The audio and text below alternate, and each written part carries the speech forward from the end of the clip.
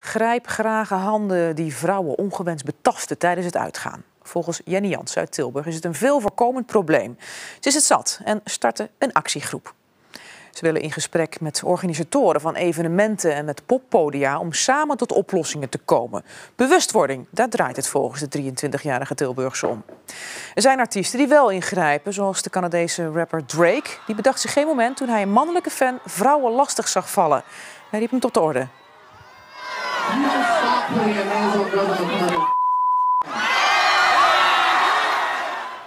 Ja, dat was Drake. Jenny, je bent hier in de studio. Fijn dat je er bent. Ja. Uh, er is veel over je heen gekomen vandaag sinds je het, uh, gestart bent. Hè? Heel veel bijval ook, hè? Ja, inderdaad. Uh, ons initiatief bestaat nog geen 24 uur, denk ik. En ik heb al hartstikke veel instanties gesproken, heel veel media ook. maar dat geeft maar weer aan dat het, dat het wel leeft en dat het ook wel nodig is. Ja. Is, het, is het een uitvloeisel van de MeToo-discussie of niet? Een uitvloeisel zou ik het niet per se willen noemen, maar het heeft natuurlijk wel een deurtje geopend om dit probleem ook aan te kaarten. Uh, het is ook wel begonnen met een tweetje van um, een andere, andere initiatiefneemster.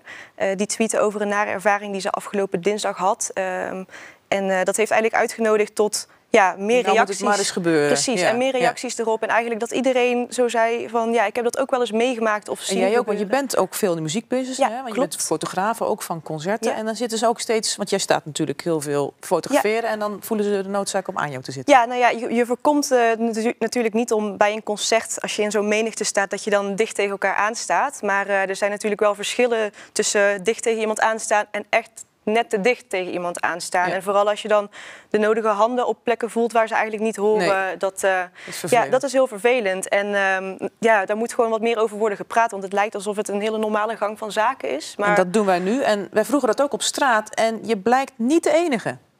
Nou, gewoon dat ze toch wel in één keer heel spontaan achter je gaan dansen... waar je eigenlijk totaal niet op staat te wachten. Ja. En nou ja, ik denk dat elk meisje wel dat soort ervaringen heeft. Je hoeft niet in je persoonlijke ruimte te komen, vind ik.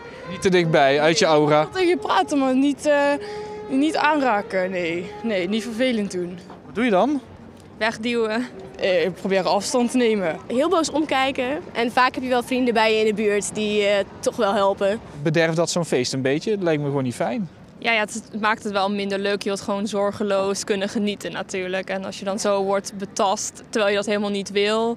dan maakt dat natuurlijk de ervaring wel iets minder. Maar goed, je probeert er niet zo lang bij stil te staan. Het is eigenlijk best apart dat we dit allemaal al heel normaal vinden. Dat als het gebeurt wij gewoon doorlopen of eigenlijk negeren.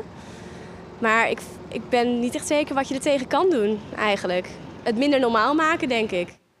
Ja, die slaat de spijker op ja, zijn kop. Het minder normaal maken. Precies uh, wat wij uh, willen doen, inderdaad.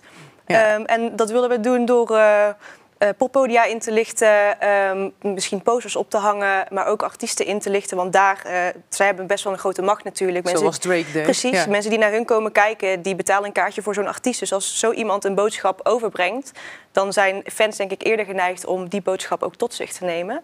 Uh, en op die manier inderdaad wat meer bewustwording te creëren dat zoiets gewoon niet normaal is. En dat, niet je, okay, nee. en dat, je, daar, ja, dat je dat niet zomaar aan je voorbij hoeft te laten gaan. Ja, nou is Brabant ja. een provincie met heel veel uh, poppodia, ja. heel veel festivals. Wij stelden eigenlijk de vraag aan Frans Vrijns, kent u misschien wel, mm -hmm. hè, van 013, van ja, wat doen zij er nou eigenlijk aan? De makkelijkste manier natuurlijk is dat een dame naar ons toe komt en vertelt dat er iets is. Wij kijken op onze, onze scherm, onze camerabeelden van hé, hey, wat zien we, wat is er? We proberen degene die het gedaan heeft te traceren, het liefst nog met getuigen. Waardoor als er een mens is tot, tot, uh, tot aangifte, we echt ook kunnen, kunnen, kunnen ja, doorpakken. Dan bellen we de politie en dan, ja, dan is het aan de politie om iemand mee te nemen, maar dat is in ieder geval ons stuk. Ja. En in ieder geval gaat iemand eruit als de dame bijvoorbeeld geen aangifte wil doen of het is niet te bewijzen. Ja, die willen we gewoon niet hebben, klaar. Nou, ze willen ze niet hebben, maar ja, het is niet heel direct. Hè? Het is nee. echt wel zelf actie ondernemen, best ja. wel gedoe.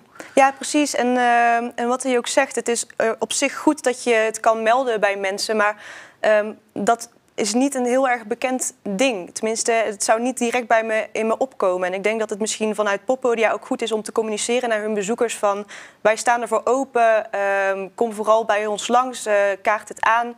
En dat er op die manier ook wel hulp wordt geboden op de een of andere manier. Dat zij misschien ook wat beter worden Ja. ingelicht over hoe ze dat kunnen doen. En ook het personeel wordt Ja, getraind precies, daarin. ja, ja. Nou is er in Amerika zoiets als, eh, je kan naar de bar, daar hangt op de damestoiletten, hangt, ja, misschien een plaatje ervan, hè? eh, de angel shot hangt op de damestoilet. Van, hey, is er iets niet oké, ga naar de bar en bestel een angel shot. Dan heb je hem in drie gradaties. Mhm. Eerste word je gewoon netjes door iemand naar je auto gebracht en bij de vierde wordt de politie gebeld. Ja. Zou zoiets iets kunnen zijn in Nederland? Ja, dat is zeker eh, iets wat eh, denk ik zou kunnen helpen. Ehm, dat zouden we ook met posters misschien willen proberen om inderdaad ook zulke posters op het toilet of zo te hangen.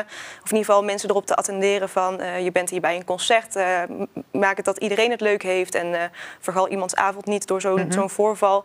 Ehm, maar wat ik ook heel erg belangrijk vind, denk ik, is dat omstanders wat meer ja, het idee hebben dat ze er iets van kunnen zeggen. Want ja, ik dat denk, gebeurt ook vaak dat- niet. dat gebeurt Ze vaak zien het niet. gebeuren Ja. en denken, hè, nou dat is ook belachelijk. Ja, maar juist, zeggen er juist van. omdat het juist misschien een beetje iets normaals geworden is of zo. Van, oh, daar heb je weer zo iemand of dat gebeurt weer. Of mensen weten vaak ook niet hoe ze erop moeten reageren. Die denken dat het een stel is dat ruzie heeft of zo.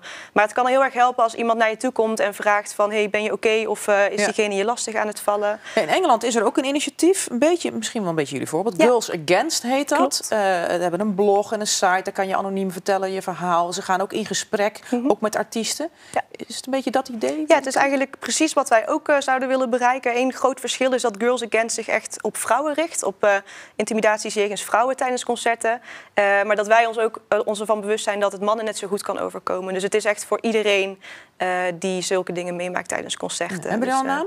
ja, we heten No Thanks. No thanks. Ja. Die is echt vandaag in die 24 uur Ja, bedacht. klopt. En Ja. we hebben al flink wat volgers.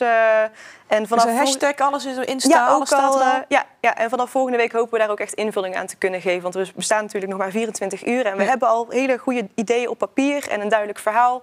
En nu willen we ook echt stappen gaan zetten. Maar er is al heel veel bijval, begreep ja, ik ook. absoluut. Ja, Ja. zeker. Nou, wat goed. En de volgende stap is? Eh, dat we in ieder geval elkaar ontmoeten vanavond voor het eerst. Dat is ook wel zo handig. En Want jullie hebben eh, elkaar via internet en zo ja, ook allemaal via weer. Twitter-kanalen allemaal.